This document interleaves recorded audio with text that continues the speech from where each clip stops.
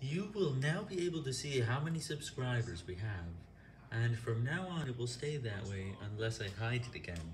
Now this is because it's about to become 1.37k instead of 1.33k before I changed it back. But this may be the last time.